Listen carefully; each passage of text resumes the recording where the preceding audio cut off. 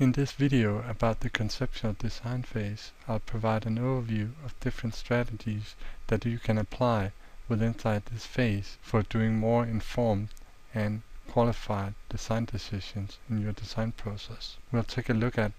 different opportunities and applications that you can effectively apply in a holistic green BIM workflow. One of the most important phases in sustainable design development is the phase of conceptual design. In this phase, we can, based on climate analysis and the reference studies that we did in the pre-design, work with creating form and energy models based on our design proposals that we can use for investigating performance and evaluating different design alternatives. So this phase is really looking at optimizing things like daylight and visual comfort, natural ventilation, shading and solar gains, the distribution of internal loads, and beginning to create the foundation for choosing which kind of materials and constructions we want to implement in the project. So here, a great way to start is using the strength of Autodesk Vasari for really being able to create some very conceptual concepts and doing quick and fast evaluation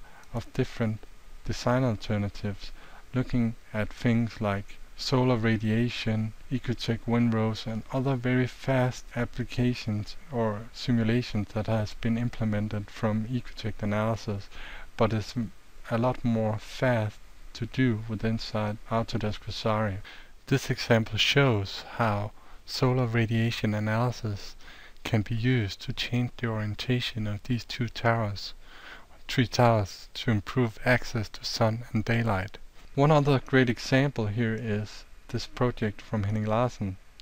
where we use solar radiation analysis for optimizing the envelopment and creating an understanding of placement of glazing on the model here to have it a bit more open on the north side and to make it a bit more closed where we had a lot of radiation. We can also use Vasari and Revit's conceptual energy analysis tool to predict energy use. You can make your design more efficient by getting quick, quick feedback on orientation, form, window to wall ratio, materials for walls and windows, the layout of zones, and choosing predefined options for HVAC systems and building schedules.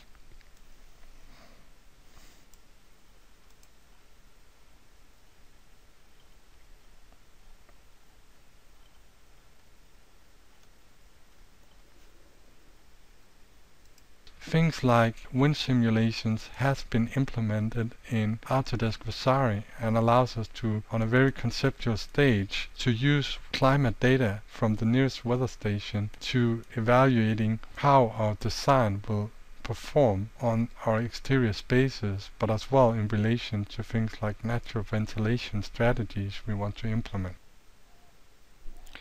Later on in the conceptual design phase, we can use Ecotect for doing fast evaluation of things like daylighting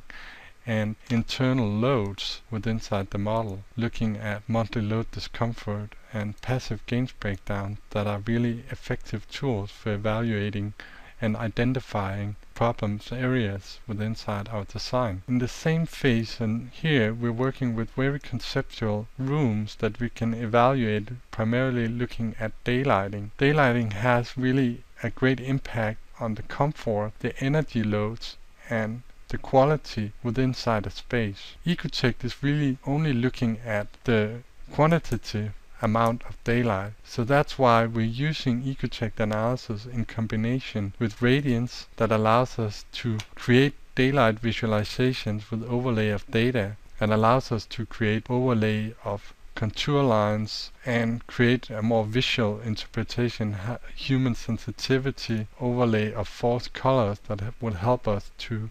identify the light levels within inside the model. At the final stage we can use DaySim in combination with Ecotect for really creating the final validation and LEED credentials that we're looking for. What Ecotect provides us with is that it's a bit more effective to work with the output first of all looking at the grid here we can choose where there's between 0 and 6 hours of sunlight and in that way use this great tool as an identifier for many of the simulations that we'll perform. And again, with Inside Ecotect, it's really a great possibility that you can have multiple projects coming in here and you can just save it out here in the zone management which helps you to quickly bring in or bring back simulations that you did previously to visualize these in relation to the specific design. Let's take a close look at the conclusions and next steps from this phase here. What we're looking for here is an optimized envelopment and optimized concepts in conceptual rooms that we want to place within inside the envelopment in strategic locations. And we are also looking at collecting all the simulations and data to make validated decisions on which type of on which design we want to move on with or which changes we want to implement from the different simulations and design alternatives that we did. For doing this, we need to be able to compare both numeric data and evaluate numeric simulations that we did in this phase. For looking at numeric data, right now I'm really using Excel, looking at the facts of the building, looking at the energy profile, visual comfort, let's bring up the, the right one here, visual comfort, solar radiation and other things that we can measure. And again, as well implementing a design point of view is really critical because comfort and energy is not the only thing controlling if we have a great building. But being able to bring it in and evaluate and see in a visual graph here what type of performance are performing the best is really uh, essential here.